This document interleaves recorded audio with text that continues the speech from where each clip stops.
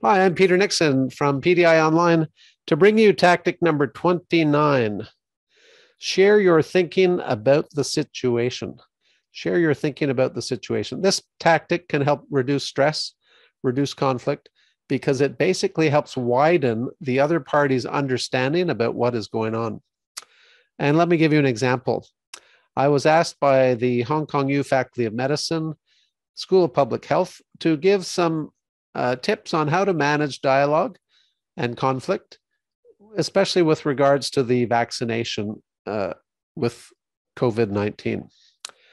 And uh, so I did a lot of work in preparation because I wanted to share my thinking with the audience 150 master's students who, you know, as medical practitioners are themselves experts.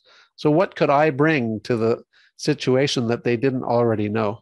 I was trying to bring tactics to help them lead the dialogue and resolve the conflict. And I brought them a detailed analysis of the issues, uh, presented in a logical way, uh, prioritized, ordered, uh, using the challenge mapping technique. And by sharing my thinking, they were able to pick up on it immediately and build on it. And that was very successful at helping them figure out how to better manage the conflict and the stress that they find themselves in on a daily basis. So, this tactic, very useful. Tactic number 29, we recommend you share your thinking about the situation.